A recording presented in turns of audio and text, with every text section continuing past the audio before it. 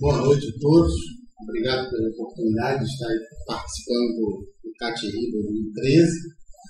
Com muita alegria que nós estamos aqui, honrados, e esperamos poder estar contribuindo na formação, na informação, sobre esses dois temas, sobre os temas que são muito importantes hoje na nossa prática, um mais importante do que o outro, na verdade, porque nós temos novos métodos de imagem uh, adjuntos à cardiologia intervencionista, à intervenção, ao diagnóstico invasivo.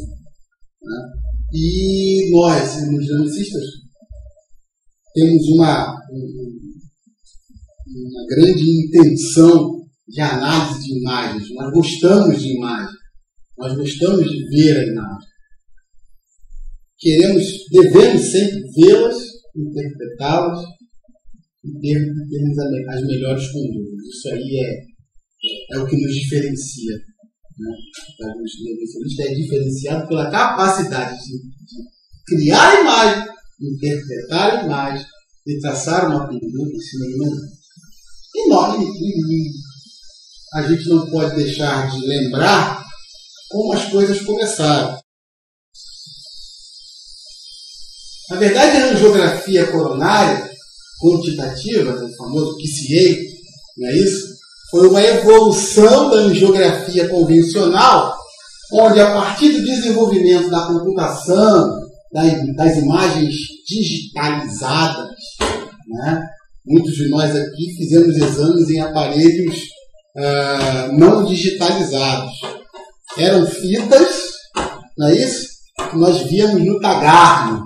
Eu tenho um Tagarno lá no, no serviço que eu chefio que ainda está lá no museuzinho lá, que é onde a gente colocava aquelas fitas, parecia filme de cinema, e aqui e ali a gente tentava avaliar as lesões. Com a digitalização, com o desenvolvimento do DAICO, em formato é, de alta resolução para gravações e tudo mais, nós passamos a poder analisar, levar para casa, dar laudos. E com isso também foram desenvolvidos os softwares de dimensionamento. E aí surgiu a angiografia coronária quantitativa. Né? Ela é, se propunha a intensificar a, a, a, a questão da análise geográfica e com as determinadas medições. Né? No início, obviamente, essas medições eram de difícil assimilação, de difícil comparação até com a própria realidade. Havia um viés aí entre o que o aparelho dava e o que efetivamente era. Com o aperfeiçoamento, com o aperfeiçoamento, com a curva de aprendizado, desenvolvimento de novos softwares, o PCA começou a ser validado. E aí, muitos trabalhos começaram a sair, relacionando PCA em geografia, PCA balão, PCA estente. E aí essas relações começaram a ser desenvolvidas. É, eu me lembro no início que a gente tinha, o PCA tinha uma, tinha uma capacidade de subestimar. Né? Então você, o que você dava um vaso de 2,6, você colocava no estante 3, estava tudo resolvido, com grande chance de sucesso. Né? E aí, na calibração, a gente tentava compensar, o catéter era, era 6, a gente colocava assim por frente. Tentava, a gente, com o tempo, a gente ia buscando algum tipo de, de observação, algum tipo de conduta. Né? E, obviamente, os vários equipamentos, as várias marcas de equipamentos, acabavam a gente em um serviço tendo uma estratégia, no outro outra estratégia. E aí vem o papel do técnico de, de, de, de hemodinâmica, de, técnico de radiologia, fala, não, doutor, essa lesão aqui, ó, é, essa, essa medida aqui, assim, tal, e aí orientava nesse sentido, porque ele fazia, ele fazia aquilo todo dia, com uma muita frequência. Né? Então, é, tudo isso é, é propiciou o avanço tecnológico, o avanço nos campos é, de pesquisa, E aí as publicações começaram a sair buscando uh, Muito bem. E o que é isso aí? Na verdade, é uma geografia é, com um software específico que consegue trazer uh, dados, mensurações, e a partir destas mensurações, obviamente não podemos esquecer das limitações da própria geografia, não é isso? Não podemos esquecer disso. Acho que nos dá, hoje em dia, uma boa correlação. Muito bem. E aí, como o PCA uh, começou a, a, participar da nossa vida uh, em cardiologia intervencionista? Obviamente, havia, há necessidade de se fazer uma geografia com qualidade, né? evitando espasmos, evitando projeções não elucidativas, não é isso? Buscando uh, as projeções uh, que mostram a lesão no seu, no seu aspecto mais completo possível, pontos mais críticos, artérias melhor é, apresentadas.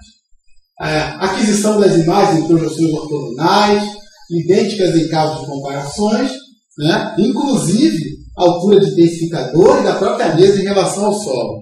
Né? Isso para você tentar reproduzir uma imagem. Né? Mensurações no momento da intervenção né? são chamadas de online e após offline, né? fora do campo. A calibração é importante, né? a gente opacificando o catéter para calibrar esse catéter para que as medidas possam ter correlação mais próxima. Determinação do grau de estenose é possível, extensão de lesão, o diâmetro referência, utilizando-se o interpolado, que leva em consideração a média, as médias entre os diâmetros de referência, que acabou sendo o diâmetro utilizado aí até para a escolha dos sistemas.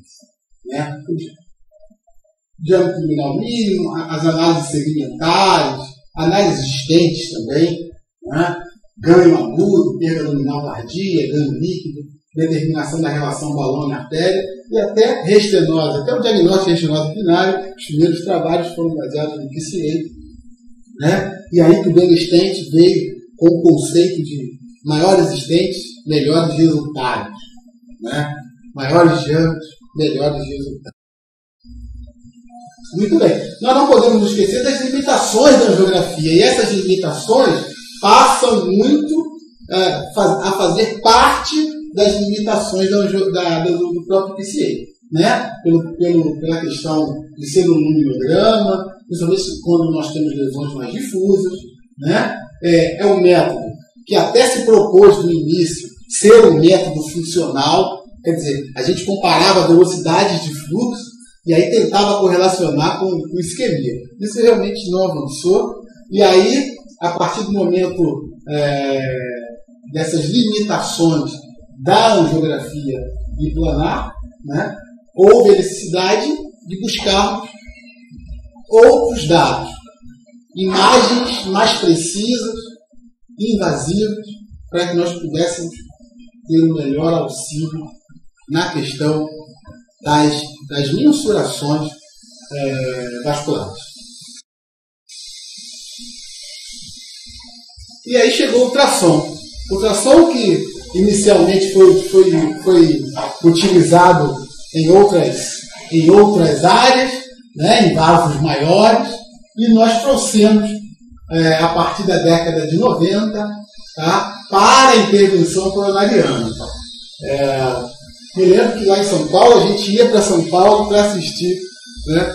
Eu fui a São Paulo para assistir casos de, de ultrassom, uns anos atrás, e, e, e onde o serviço de Curitiba foi um dos pioneiros aqui no Brasil e começou a, a as diretrizes não citavam ultrassom, era um método, não, nós não precisamos de ultrassom, a geografia já resolve o nosso problema. E aí as coisas foram evoluindo, a qualidade foi melhorando, os catéteres foram melhorando, e hoje a, a, o ultrassom intracoronário já é um método de imagem adjunto, já faz parte da nossa rotina e é, é, é um método que, nos, que trouxe muita vantagem, nos trouxe, acrescentou segurança ao procedimento. E é um método que nós não devemos abrir mão. Aparelho de ultrassom no serviço de hemodinâmica tem que estar dentro da sala.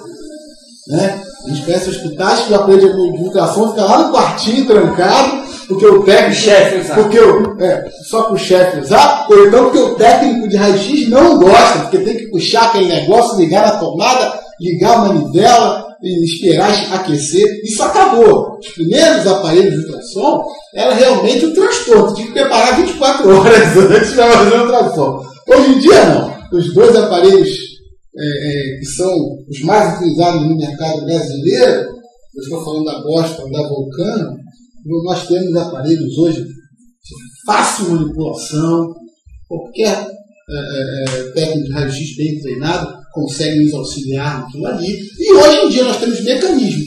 Mesmo você atuando na mesa, você consegue também, ao mesmo tempo, de uma forma estéreo, estar atuando também nos consoles de ultrassom. Próximo. Tá? Esta é a imagem padrão da, da, da, da ultrassonográfica intravascular, onde nós temos aqui à nossa direita o padrão longitudinal e o transversal. Né? É, o transversal, nós podemos ver ah, as camadas da artéria, a luz, o catéter ah, e a composição da placa ciovânica. Ok? Íntima média adventícia, plano elástico externo, a luz da artéria e no centro o catéter. Vamos falar um pouco mais sobre, sobre essas uh, particularidades do ultrassom para ver se nós conseguimos hoje sair daqui empolgados com esse método, sem receio. Muito bem. Já é uma utilização bem estabelecida da interpretação tá? dessas imagens tomográficas de alta resolução, obtidas invasivamente através de ondas de ultrassom de alta frequência, 20 a 45 MHz ok? Das análises das estruturas vasculares, quantitativa e qualitativamente, auxiliando no conhecimento da doença aterosclerótica, no entendimento das aplicações clínicas das intervenções coronárias, e nós utilizamos inicialmente na heparinização do nitrato intracoronário. Nós fazemos 7.500 unidades a 10.000 unidades para fazer o ultrassom intracoronário. Ok? O equipamento ele é composto basicamente de um console, um monitor, um pullback device, que é o, o aparelho que faz a, a, puxada, né, como nós chamamos, e o próprio catéter. Esse catéter ele era muito mais calibroso. Hoje em dia nós temos catéteres de cerca de 3.6 frentes, ok? Frentes, e são compatíveis com catéteres já de 5 frentes e cordas guia 014. Nós utilizamos cordas com maior suporte, ok? Para facilitar a navegação do catéter de ultrassom. Ok? Nós temos dois tipos de catéteres, mecânico e o eletrônico. Quando eu falo mecânico no Brasil, basicamente é o catéter da Boston e o Revolution, que é uma nova, é um, um novo catéter da Vulcan. Um novo, mais novo, mais, o último catéter lançado, é o mais recente. E o eletrônico, que é, é também conhecido como múltiplos né, transdutores, é, eles ficam fixos em 360 graus, ok? E é o catéter, o Eagle Eye da, da... Muito bem. Mais uma vez, nós podemos é, ver aqui é, o mundo real, de como funciona. Né? nós posicionamos o catéter né, abaixo da lesão a ser analisada, geralmente 10 milímetros, tá? e promovemos então o que nós chamamos de pullback, a puxada, não é isso? Essa puxada ela pode ser manual ou ela pode ser automática, né? Recomendamos que, que sempre que possível seja automático. Mas existirão algumas situações de definição de pontos mais curtos, de situações até mais complicadas, e você poderá lançar mão da puxada manual. Quer dizer, você sustenta a corda guia, traciona e puxa com movimentos regulares, contínuos e regulares, estáveis, ah, através dessa lesão. Tá? Mais uma vez, nós podemos ver aqui em verde é, a área menor, né? a luz do vaso, verde escuro, em azul, aqui, verde claro, talvez, nós, nós vemos aqui a, o vaso, né? a membrana elástica externa, e nós podemos ver aí entre as duas áreas aí uma área com placa aterosclerótica. Obviamente, a análise ultrassonográfica ela nos dá condições de observarmos a luz interna e vermos então se a lesão é grave, se a lesão é estável, se existem estentes e vantagens nesse segmento, se existem outras anormalidades vasculares, como uma dissecção, presença de trombo, por aí vai. Ok? À direita aqui nós estamos, nós estamos vendo uma análise uma coronária direita, com ultrassom, mostrando uma área de 4, uma, uma lesão nos parece grave em angiografia, e mostrando uma área de 4,73, que obviamente ela fica classificada numa área moderada. Esse é o console, tá? esse é o aparelho que nós temos lá no hospital, e aqui à direita nós estamos vendo o Quebec Device, que é o tracionador. Né? É, o console é de fácil manipulação, tá? Tem um holder ali que a gente consegue andar com o cursor e é é um, a gente grava esse movimento de pullback, o segmento todo. Depois nós vamos para o console, o console passa para nós essa puxada, essas imagens. A gente pode parar onde a gente quer, na lesão que a gente está focando, né, na estrutura que a gente quer estudar, e a gente ali é, offline, né, podemos analisar, dar o nosso laudo e definir a, a conduta a ser tomada. Ok? Esse aparelho fica dentro da sala de hemodinâmica, ali ao lado do monitor, ao lado dos aparelhos.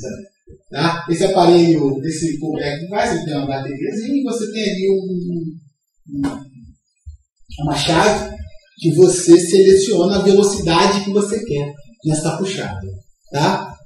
Ele te dá duas opções: 0,5 milímetros por segundo ou 1. Ok? Obviamente, sendo manual, você vai retirar o catéter desse device e vai fazer o movimento com sua própria mão. Ok? Nesse, nessa primeira estrutura, o catéter passa aqui e aqui, aqui nessa estrutura há uma chave aqui, ela abre nesse sentido e nós prendemos o catéter aqui. Prendeu, obviamente, levamos essa, essa estrutura até aqui, esse ponto zero, acionamos o pullback e ele vem nesse movimento de lá para cá, puxando o catéter. Obviamente, cuidado com o Y, o Y aberto e a, e a corda guia bem apoiada para que haja um equilíbrio nesse movimento. É, vamos continuar. Muito bem. Essas são as diferenças dos catéteres que eu acabei de dizer. À esquerda nós temos o catéter é, o rotativo, ok? Mecânico, e à direita nós temos o eletrônico, ok? Esse é o catéter eletrônico da Volcano, tá? Uh, acima nós temos aí o, o Eagle ok? Nós vemos aqui dois pontos 2.9 frente, ok? 2.7 lá, mais distal, mais proximal. Né? O transdutor é mais espesso, mais espesso, então ele tem 3.5. Abaixo nós temos o catéter da Boston, que é o catéter uh, Atlas.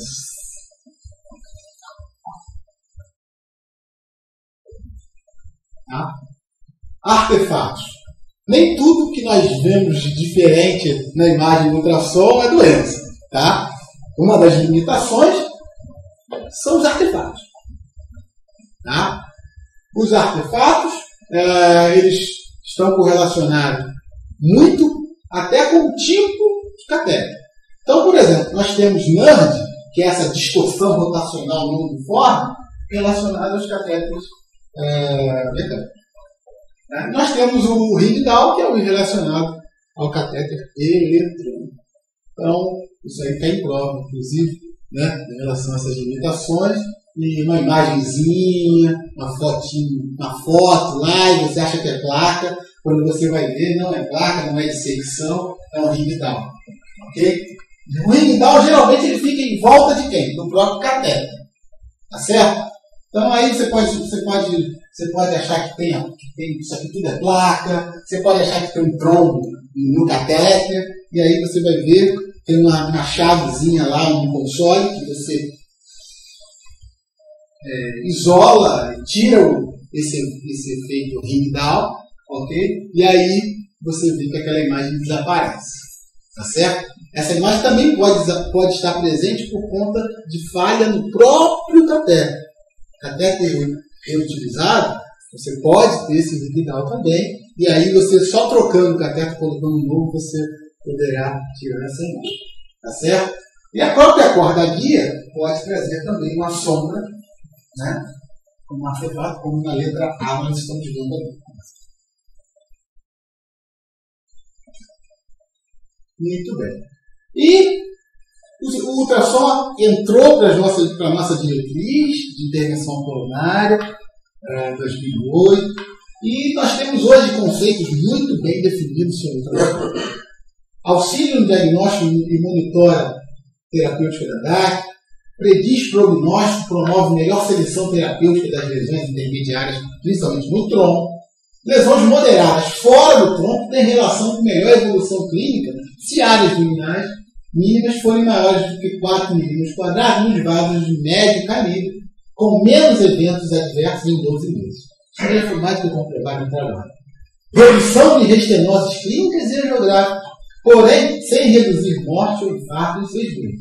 Quer dizer, o, o conceito de implante ótimo trouxe uh, para a ultrassonografia intravascular esse desafio de melhorar os resultados. E isso nós conseguimos observar. Intervenções mais complexas, como elevação da segurança cardíaca, principalmente no quesito trombose. Né? Hoje em dia eu não faço controle de tronco é, sem, sem ultrassom. Hoje em dia é fundamental o ultrassom para a definição, principalmente nos troncos não protegidos. Tá? Principalmente nos troncos não protegidos. É, por muitos tempo, por muitos anos, por muitos procedimentos, né, nós, examicistas, subestimamos diâmetro de tronco. Diâmetro de tronco. E isso levou a, a, a uma série de, de, de eventos adversos né? inclusive vários meses, mas a mais importante foi a revascularização lesão, né? por subestimarmos diâmetro de tronco. Homens grandes, coronárias grandes, mas lesão de tronco grave, qual é? Dá um stent 3, um 3,5. Né? Nós temos visto aí muitas angioplastias de tronco, nós usamos estudos 3,5 e que hoje certamente colocaremos no 4,5, 4. Mas, então, o ultrassom é fundamental para esse tipo de avaliação do diâmetro do vaso. Análise das camadas das paredes da parede arterial, já falei com vocês também, e há uma grande relação, definitivamente isso foi comprovado no estudo, a relação entre uh, as camadas e os, as, o aspecto da camada, das camadas arteriais e os aspectos patológicos. E as recomendações de níveis de evidência, nós temos análise de lesões moderadas ao QCE 2A, nível de evidência B, rotineiramente nos implantes existentes 2A, evidência A, e avaliar DAC em pacientes com transplante cardíaco, dentro daqueles seis meses, um ano, né? 2B, C. Muito bem. Muito se falou no início, principalmente pelos catéteres mais robustos, né? Há complicações, o ultrassom não passa na lesão, ah, o que secou o tronco. Né? E nós vemos que com a curva de aprendizado, você tem, você certamente acaba se familiarizando com o método e acaba vendo que os benefícios são muito maiores do que os riscos. Tá? Tá? Ficou comprovado que pouco adiciona riscos da coronariografia, obviamente, dependendo das, das mãos que estejam operando também, né? E do quadro que se apresenta. Uma meta-análise com dois, mais de 2 mil pacientes mostrou exatamente isso aí. Tá? 99,92,9% não apresentaram complicações aqui. Né? Relacionados realmente ao método, menos de 1%. Ok? Nós temos aí uma comparação entre normal e anormal e essa refringência circular, uniforme, que são as malhas do estente. Muito bem. E o ultrassom, com o tempo, é, nós tínhamos dificuldade em analisar conteúdo da placa. E aí a, a, a, a associação da histologia virtual veio trazer para nós esta avaliação de composição de placa. Então, um, hoje em dia, os nossos laudos lá, a gente sempre consegue aí, uh, pelo menos em algum momento do laudo, em algum momento do exame, a gente descrever a composição da placa. Por quê? Nós hoje já sabemos né, que esta composição ela é fundamental para a decisão de conduta, para também classificarmos essa placa como uma placa grave, como uma placa vulnerável, uma placa moderada, vulnerável, acidentes de placa. Então, é muito importante essa análise pela histologia. Né? É, já, já se utilizava histologia em outros tecidos e nós conseguimos aí hoje a, é, utilizar é, essas, esse esclarecimento para uh, melhorar ainda mais a análise ultrassonográfica dos nossos pacientes. Temos lá à esquerda uma análise uh, por, por conteúdo, né?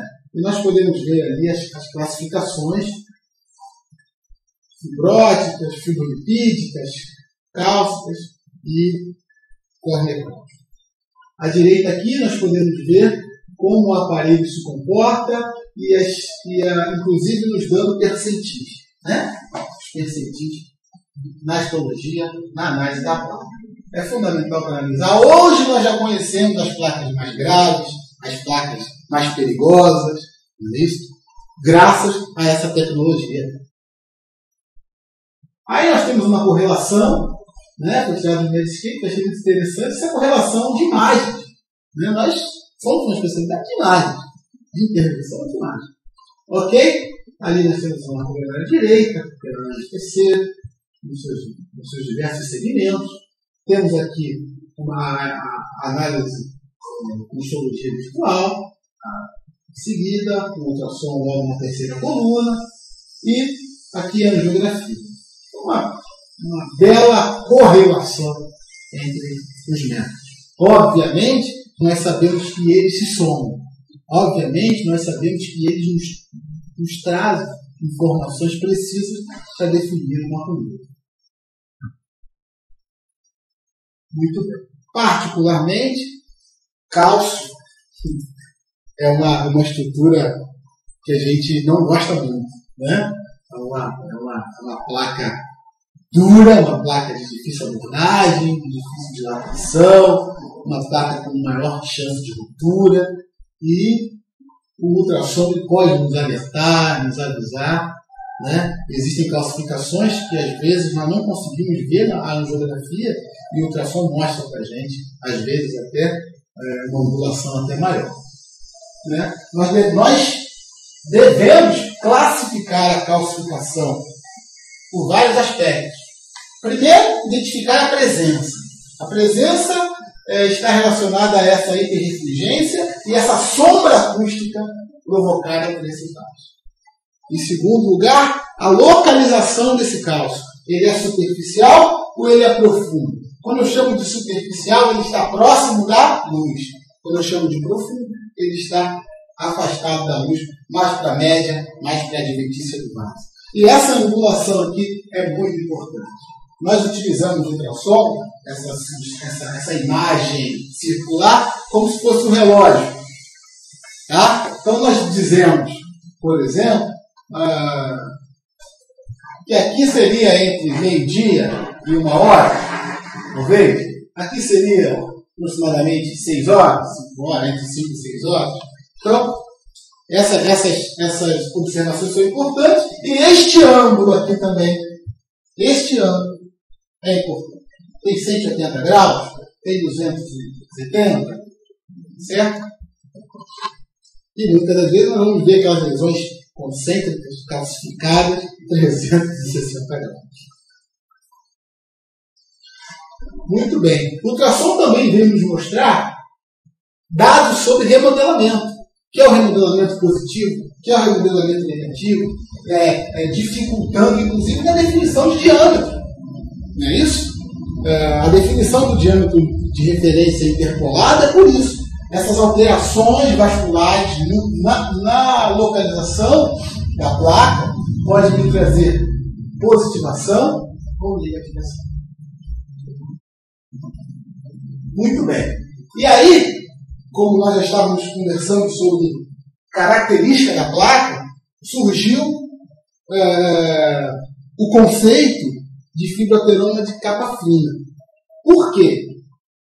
começamos a ver que aqueles pacientes que tinham síndrome coronariana, que tinham vasos com lesões moderadas, aparentemente estáveis, que não eram tratados, dentro de 12 meses, até 3 anos, como os trabalhos mostraram, passavam a ter síndrome coronariana daquele vaso não tratado.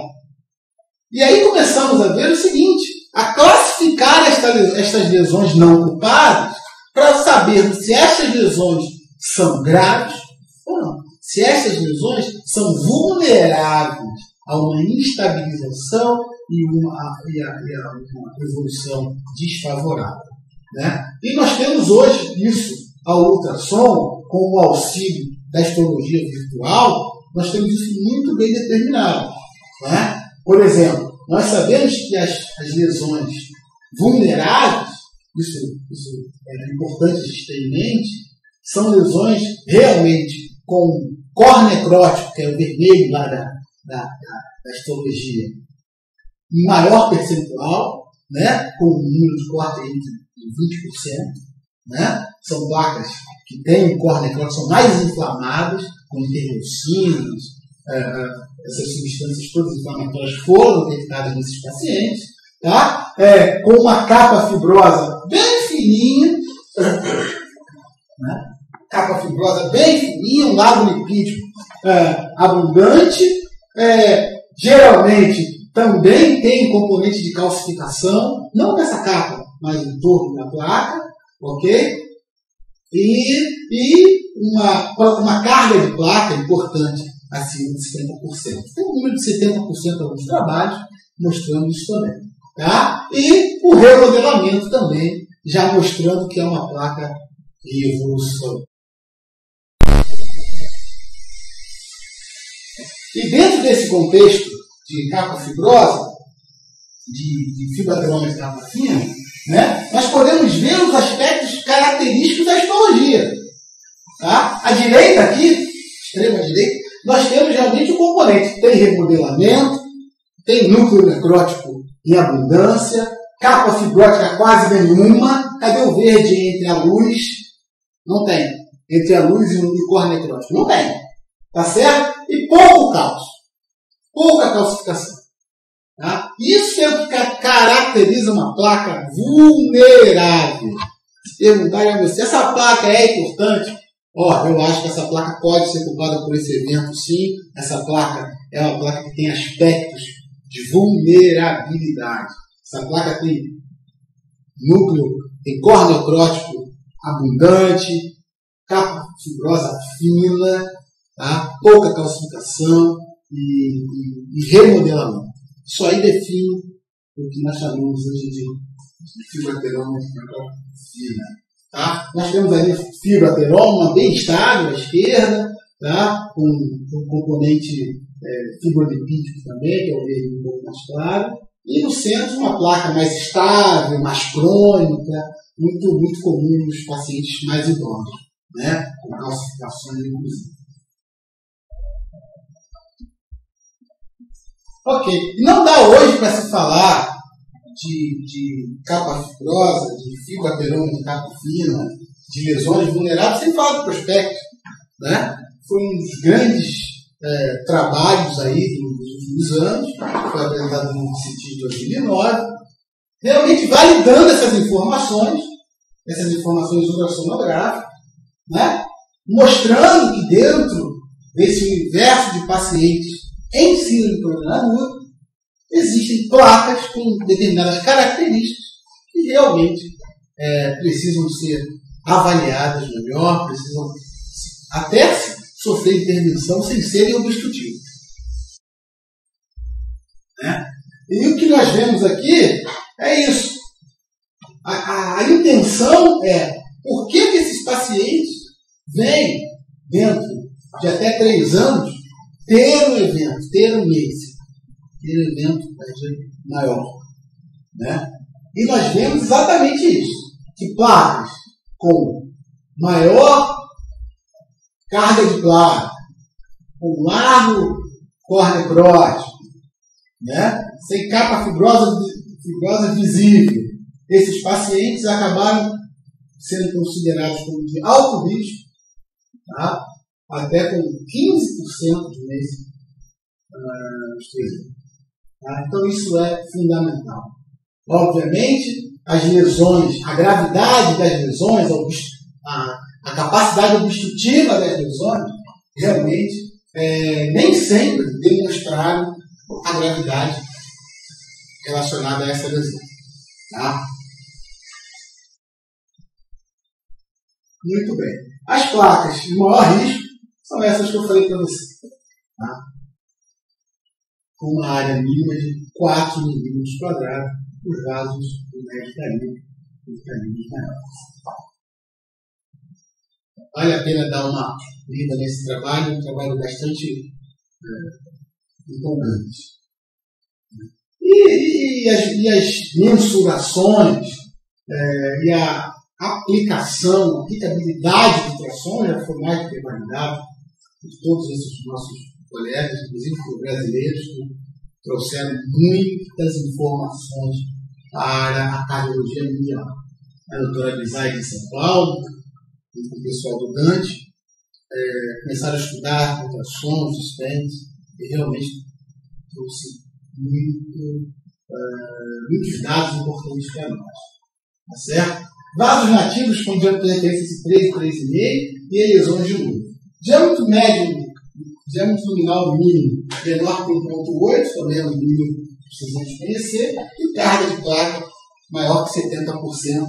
São dados que você consegue detectar no ultrassom com grande facilidade. Tá? Já falando de lesões de tronco, nós sabemos que hoje os trabalhos têm corroborado cada vez mais que esta área de 6 milímetros quadrados é um, é um, é um nível de corte para você é, ter é, significado até funcional nessas lesões, apesar do ultrassom não ser um método funcional. Ok? O final mínimo de ultrassom é 2,8, como também precisamos observar. Bom, o ultrassom no implante de já está mais do que consagrado né, reduzir restenose, reduzir trombose tardia, certo? Aguda e tardia, aguda também. Tá? Nós podemos avaliar a expansão do estente, podemos avaliar a posição do estente e podemos avaliar complicações, principalmente em órgãos como dissecção. Tá? Então é muito importante, na análise do estente, você observar esses três parâmetros básicos. Daí esse é o padrão ouro do ultrassom para analisar estentes. As perguntas são: o estente está bem aposto? O estente está bem expandido? Tem dissecção de órgãos? Essas perguntas são muito importantes e, se possível, estarem contidas essas respostas nos laudos. Estente, localizado no segmento médio da coronária direita, bem aposto, bem expandido, sem dissecção.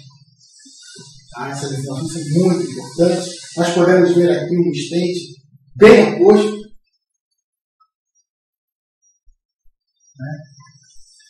Bem circunferencial, bem aposto uh, em toda a sua circunferência. Tá? Como eu falei no início, a angioplastia no tronco é fundamental. Reduziu mortalidade de cerca de 5% nos pacientes. Uh, Dr. Parco publicou isso em 2009. Né? Essa relação angiografia versus ultrassom é, é, na aplicabilidade do existente, né? É, quando você acrescenta ultrassom, você diminui revascularização de lesão, de lesão alta. Tá? Diminui a estenose também. E o Cruz, que é um clássico também, ultrassom, né? Esse trabalho mostrou superioridade, né? é, a angiografia somente é, nos, nos implantes existentes, nas suas complicações. Okay? Esses, esses dois trabalhos são muito importantes aí.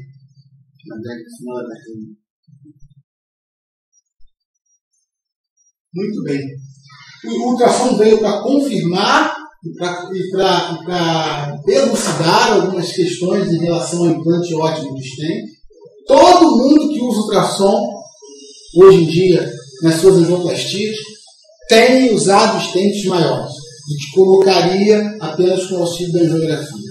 Tá? Isso é fundamental. Quanto maior a área luminal final entre stents, menores os índices de estenose.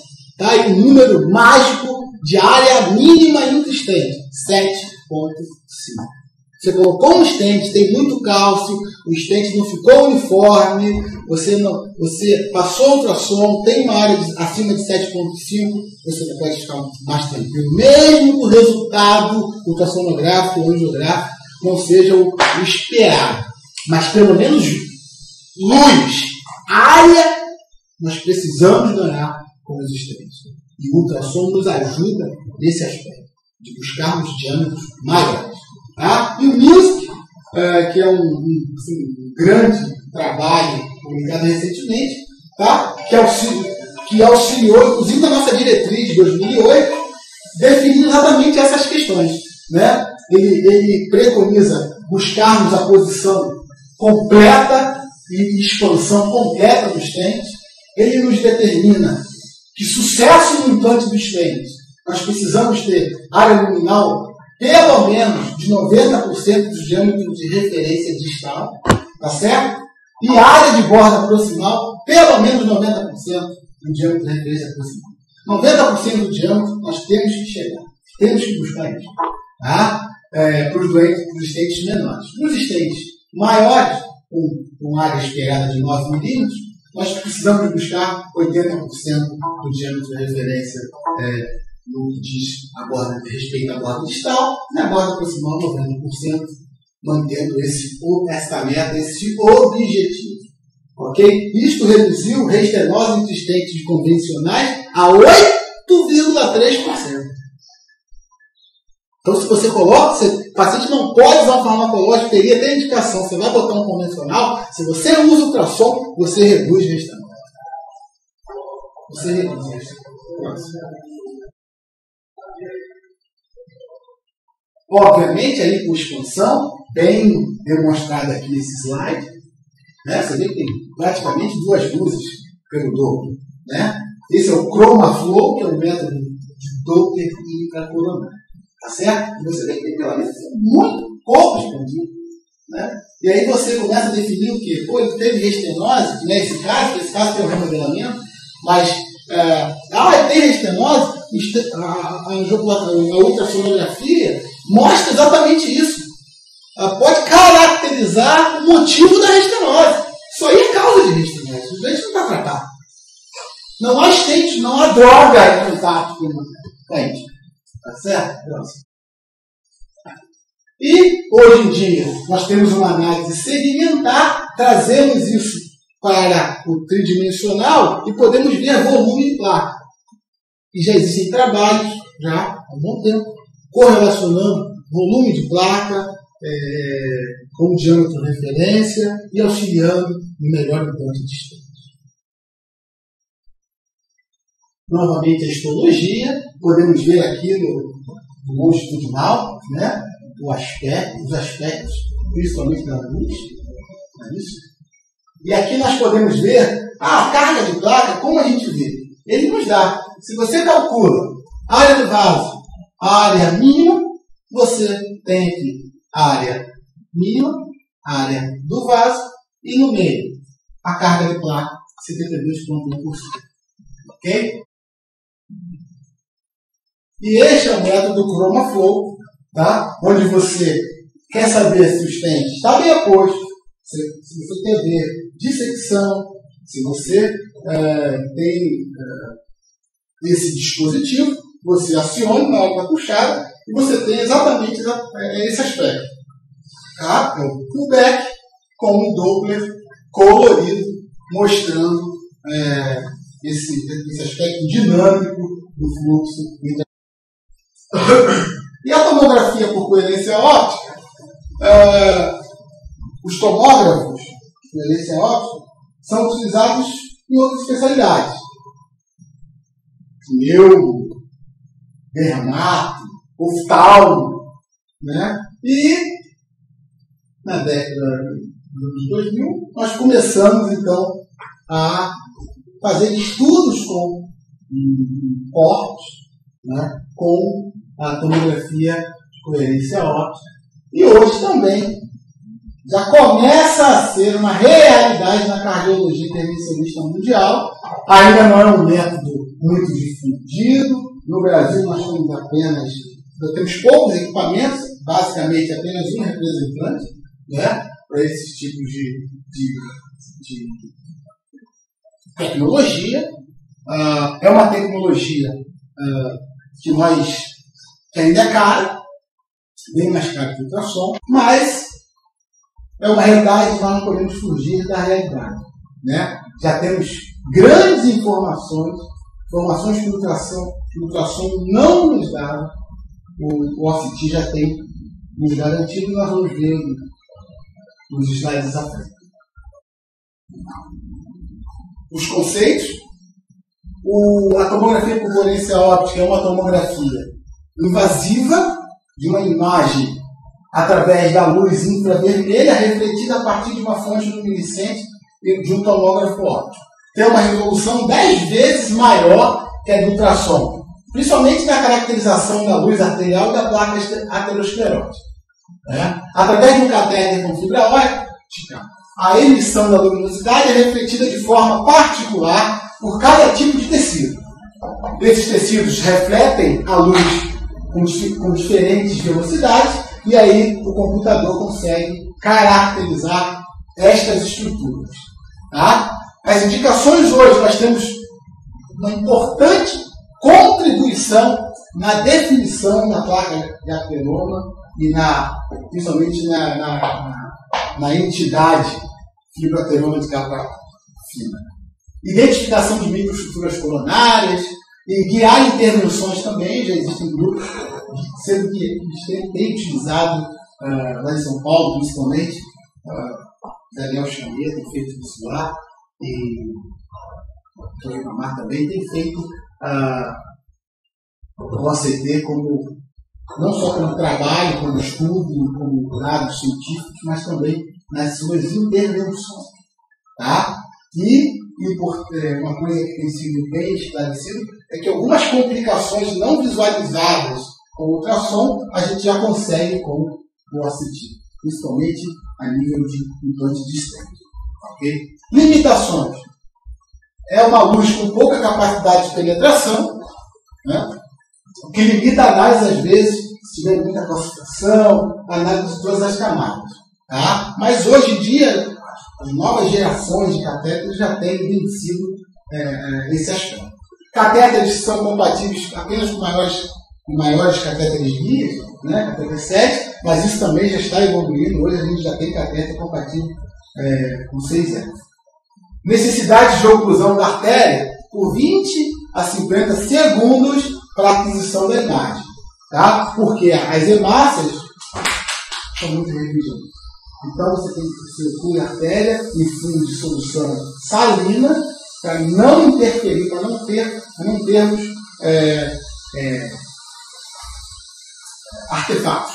Ok? Mas isso também já está sendo revisto, já existem catéteres, né, novas tecnologias que estão dispensando a oclusão. Tá? Mas no Brasil ainda não tem. Então, alguns doentes toleram bem, 30 segundos, com artéria outros fazem dor. Ok? Bom, o console é muito parecido com o console de ultrassom. Okay? Muito bem. E este é o aspecto, esse aspecto é, dourado, né, e onde nas análises sequenciais, né, nesse segmento da coronária direita, por exemplo, nós temos as análises dos cortes tomográficos, os, nos seus aspectos particulares, presença ah, na, na, na no assistir, por exemplo, o cálcio é pouco, deixa pouco luz. Então ele reflete pouco luz, então ele não tem aquele aspecto refrigerante do ultrassom. Ele é menos refrigerante. Tá certo? É, trombo é muito bem visualizado ao assistir. Tá? Melhor que o ultrassom. Tá certo? Melhor que o ultrassom. Próximo. Ok? E no, no, no auxílio no, no implante dos estantes, né? É, ele é importante tanto no implante quanto na análise da restenose. Ok? Então nós vemos aqui que nós temos a malha do estente aqui e o tecido. Né? Uma restenose concêntrica. Né? E nós podemos ver que realmente é um tecido espesso, reestenótico, uma perda luminal. Próximo. Bom, vejam, senhores, os aspectos analisados pelo ACT.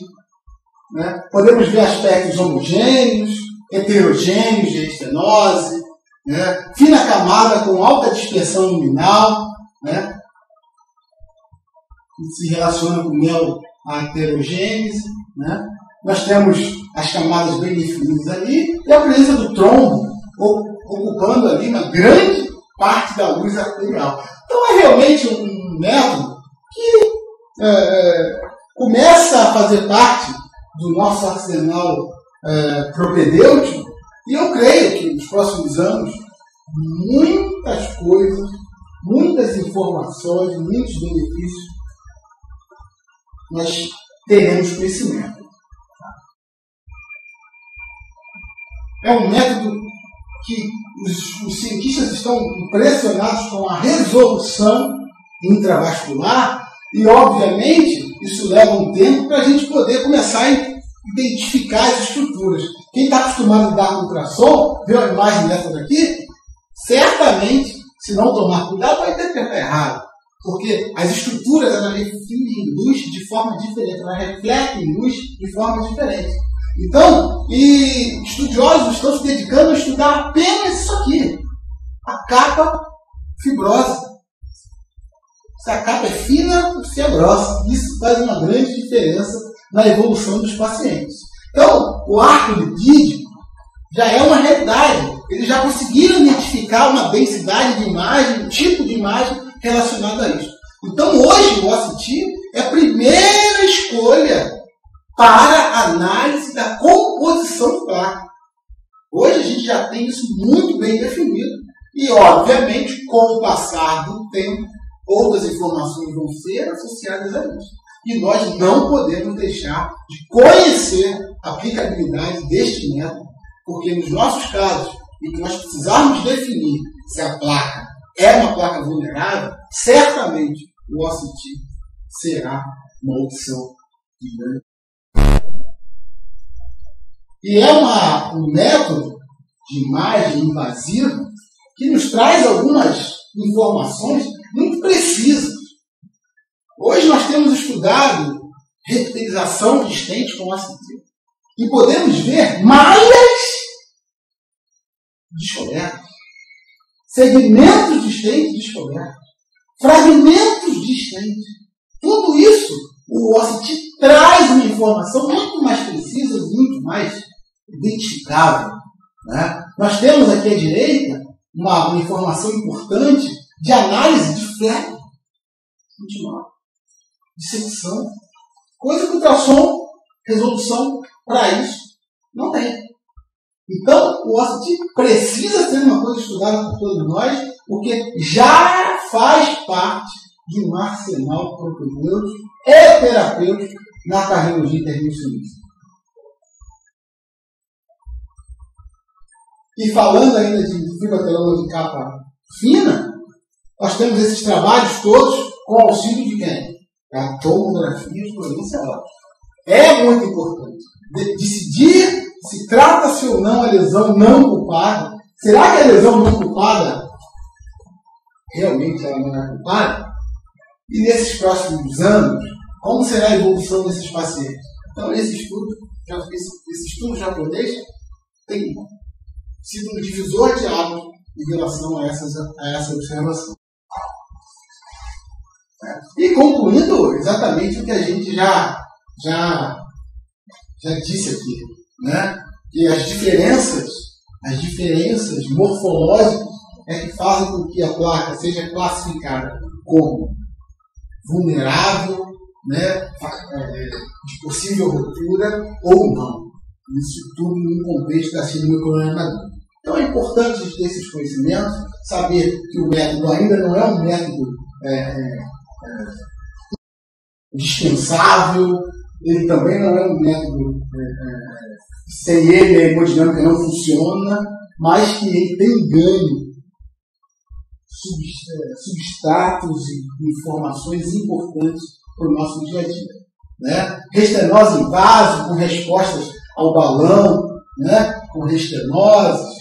E aqui nós podemos ver como ele realmente tem é, uma capacidade de diferenciar os tecidos e de mostrar detalhes importantíssimos e certamente passariam despercebidos.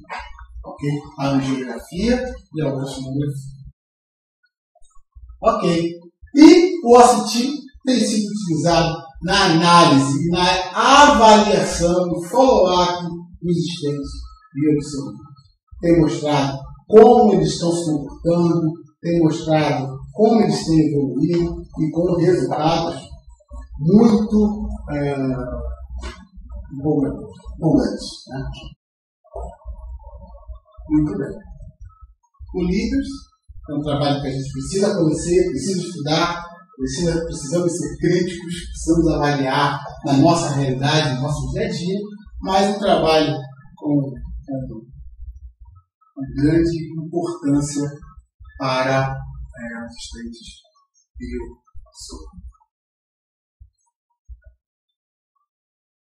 Acho que são importantes a gente ter em mente estar lendo, estudando. É um tema novo para todos nós, mas eu espero é, auxiliar vocês nessa, nessa nova jornada e ter, servir de estímulo para que possamos estudar sobre isso aí cada vez mais.